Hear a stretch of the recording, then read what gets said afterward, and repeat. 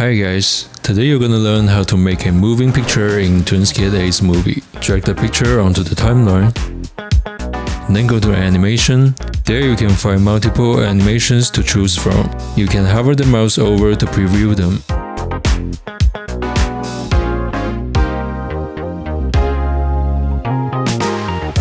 Check the animation you choose in the video track and then go to the top right panel to set up some parameters like duration, delay, acceleration, and the loop count.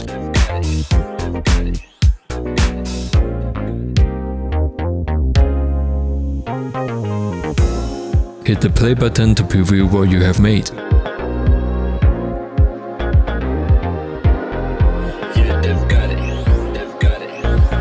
And then we're gonna add a transition to the picture. You can choose whichever you want from the transition box.